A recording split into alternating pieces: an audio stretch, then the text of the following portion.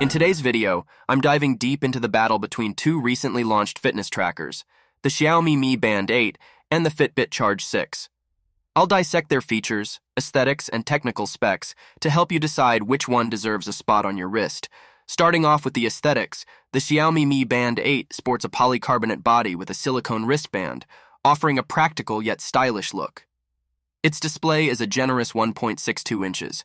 On the other hand, the Fitbit Charge 6 is crafted from 100% recycled aluminum, featuring a smaller 1.04 inch touchscreen.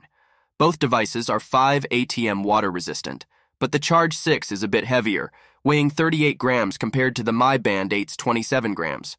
It's worth noting, the Xiaomi Mi Band 8 offers a two-piece detachable band, allowing for a variety of strap combinations. You can even wear the band as a necklace or attach it to your shoes, offering a level of versatility that's hard to match. The Fitbit Charge 6, on the other hand, reintroduces a physical button, addressing user complaints about a touchscreen-only interface. This shows that both companies are listening to user feedback and are willing to make design changes accordingly. Now, let's delve deeper into the sensors.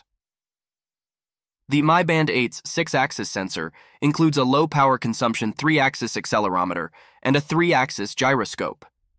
These work in tandem with a PPG heart rate sensor and a blood oxygen sensor to monitor various aspects of your physical condition. The Fitbit Charge 6 goes a few steps further. It not only includes a three-axis accelerometer and an optical heart rate monitor, but also features multi-purpose electrical sensors compatible with ECG and EDA scan apps, as well as a skin temperature sensor. This makes the Charge 6 almost akin to having a miniaturized lab on your wrist. What it lacks in advanced features, the Mi Band 8 makes up for in battery life. It boasts an impressive 16 days of typical usage.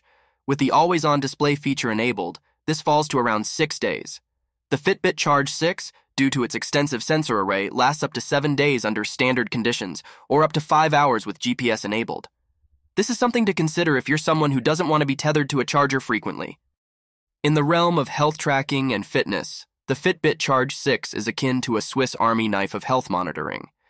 It boasts a comprehensive array of health sensors that go way beyond the basics.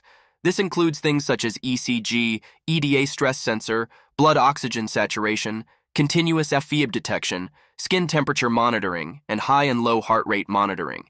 The device also includes built-in GPS tracking, which enhances its utility for outdoor workouts.